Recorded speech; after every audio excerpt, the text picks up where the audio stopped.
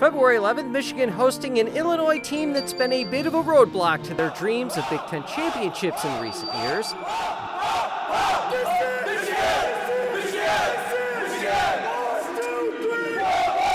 The Illini were blocking U of M early in this one as the visitors took the doubles point to go up 1 0.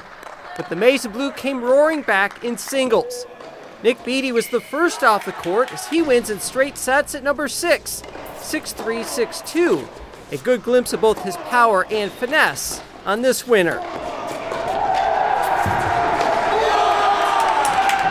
Ondrej Styler then won at number 2 singles. Styler coming back from injury won for the first time since January 16th. He claimed to be forehand heavy as he works his way back, and that forehand was working very well as he finishes a winner in straight sets 6 1, 6 4. Andrew Fenty won big at the top spot, making quick work of 63rd ranked Olivier Stewart, cruising to the 6 0, 6 2 win.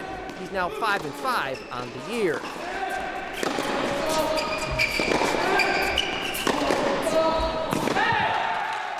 clincher on the night came from the freshman Gavin Young as he closes it out 6 3 7 5. He now leads the team with 15 wins in his first season in Ann Arbor.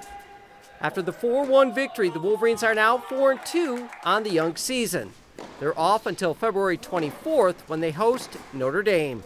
For MGoBlue TV, I'm Anthony Polidano.